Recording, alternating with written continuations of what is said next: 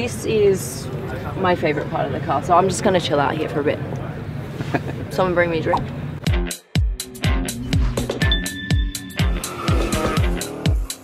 Ready?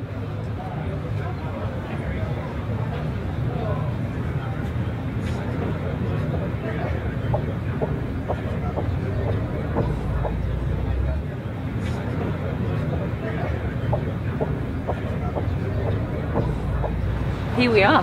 This is the moment. The Centodieci in real life.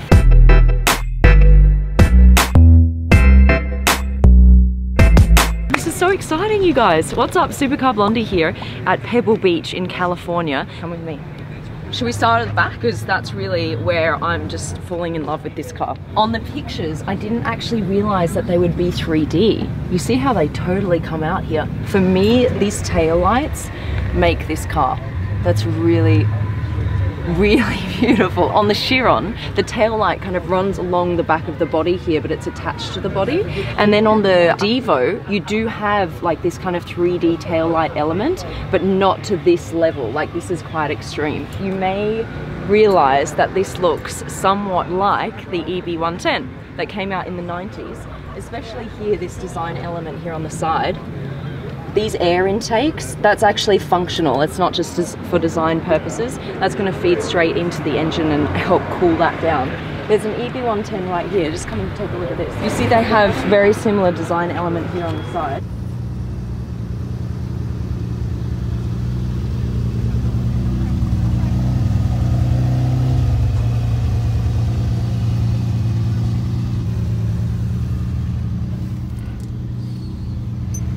This is a W16 8 litre and it's actually going to have 100 more horsepower than the Chiron, so 1600 horsepower.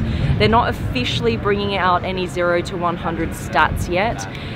We have heard around 2.4 seconds, but of course isn't actually yet in production, so they've still got to test all of that out. As soon as they have, those official stats, I'm going to get those over to you guys. Why in the world have they brought the EB110 back? We're going to talk to Frank a little bit more about why they have chosen that era to bring back, and I think that's probably a good time right now to invite him in. Are you guys ready? Frank's ready. What's up, man? Nice to see you. Where is he? Up, Where is How are you? nice to see you always. This is Frank, everyone. If you haven't seen him on my previous Bugatti videos, he is the head designer of exterior right. at Bugatti and the perfect person to talk to about why this looks the way it does. Where do we start? I mean, the whole 110th anniversary. You were talking to me earlier about why you're bringing the 90s back. I love the 90s, by the way. 90s best best decade Best ever. music ever. Best music ever. Yes, I totally agree with you. Early on in the year, this is the 110th anniversary of the company, so uh, we, we thought we use this year to reflect back onto our very colorful history. Actually, Yeah. there's been many ups and downs in the company uh, history, and early on in the year in Geneva, uh, we had the La Voiture Noire, which paid homage to the actual original uh, Type 57 SC Atlantic, and we thought it's it's uh, also time now actually to to recognize and to to actually look back at the 90s as well. This is a fantastic car. So you have to see they had four turbochargers uh, in the 90s, uh, Yeah. four-wheel drive, broke a lot of records with this car. Right. It's an outstanding car. So this was like the superstar of the era, Yeah. right? The EB110. Yeah. And so you guys wanted to kind of pay homage to that superstar element and bring it back. Should we have a look? You can see definitely with the three separate air intakes at the front and the smaller horseshoe looks quite similar. This comes from a proportion. To us designers, proportion is the most important thing. How wide is the car? How wide is it? What are the overhangs? How, how big are the wheels? What the wheelbase? And what is the gesture? How's the volume actually? Yeah, okay. So, uh, and the volume of this is a wedge, basically. That's that's a new thing for us. It's a wedge. It's a wedge, forward-facing, forward-leaping Okay, wedge. It's okay. a wedge on wheels. Look, look at the EB110. Yeah. That is basically the typical 90s era Yeah, yeah, Italian yeah, yeah, supercar. yeah. Can you point out what you think is actually bringing the EB110 into the future with this car? Yeah, right. You have to get a good view of the profile of the car from Yeah. the side. So you see these these lines are sloping downwards. That's the first for us actually. Oh yeah. And uh, because usually on the Veyron, on the Chiron, Yeah. also on the Divo, we have this kind of sovereign gesture in the car where it's kind of leaning back a Ah, little bit. okay. So here it's all leaping forward. Ah, right. And that's what connects the car also to, to the styling of the E EB110. Right, because that line also goes forward. It goes okay, forward, yeah. Okay. Having said that, the body side of the EB110 is completely flat. The body side of this has a lot of sculpture change Right. between concave, convex, and if I may say so, the sexy muscle of the rear wheel arch, the Yep. bulging wheel arches. Yep. To get this wedge, we had to lower the front. Okay. So usually on, on the Chiron, also on the Veyron, we have an upright horseshoe. Yeah. And that makes the bonnet a bit higher.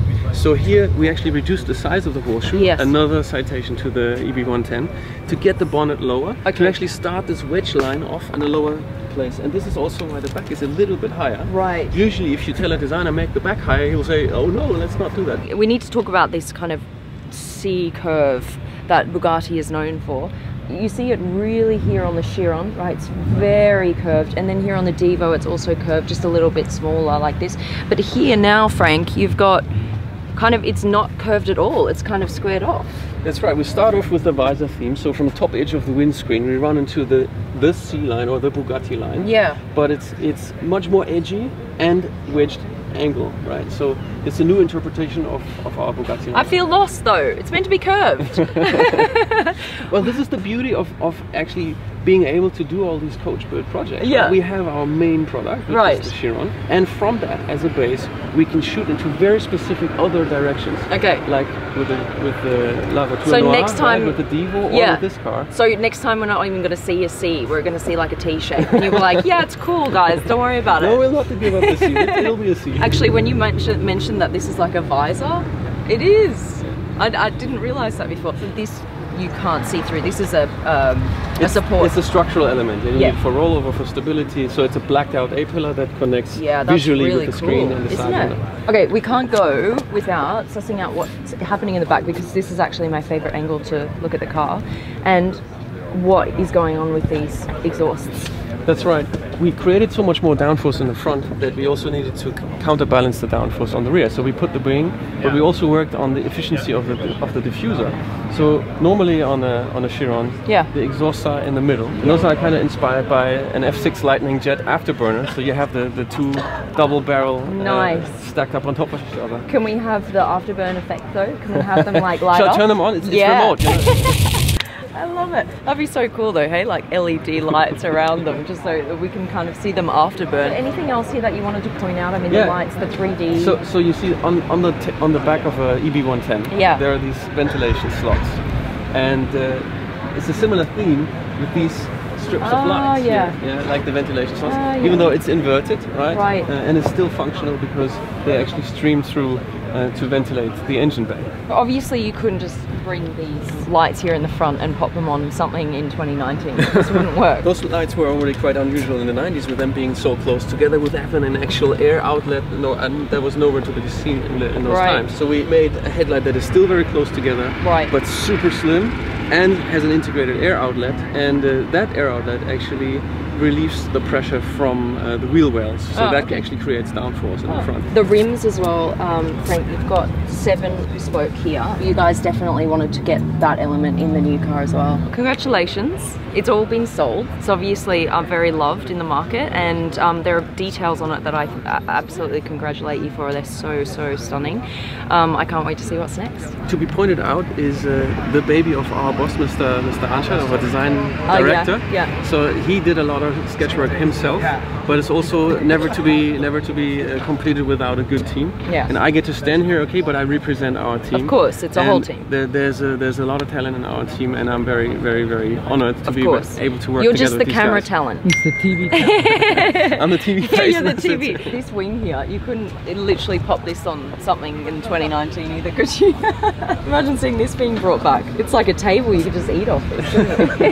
It makes a Just- good bar, huh? Yeah, it does. Your wing is completely different, obviously. That one could act still as a bar, though, couldn't it? No. Shall we design some cup holders? Yeah, I, want to- I actually. Why is this not happened already? Cup holders on the back incorporated into the wing. Now that's an idea, right? Frank, Yeah. I want to see this on the next Patent design. on that, all right. Yeah, that's our idea. You can't steal that, guys. This is my favorite part of the car, so I'm just going to chill out here for a bit. Someone bring me a drink. Should we- should we- Yeah, I'll just sit here and chill out. Alright guys, I think that's it. Give us a quick thumbs up. Make sure you subscribe to the channel if you haven't yet. This is where you get to see the coolest cars in the world. Massive thanks to Frank. We'll see you on the next video, man. Thank you so much. Thank you. And for now, we're out. Love ya. Bye.